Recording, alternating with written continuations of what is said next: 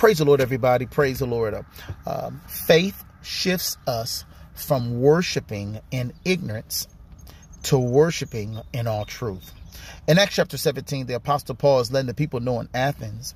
He says, "You guys are too superstitious." In other words, uh, uh, you're you're worshiping a, a god a, a, God that you don't even know. Uh, you you you you have a belief in chance. You have a fear of the unknown.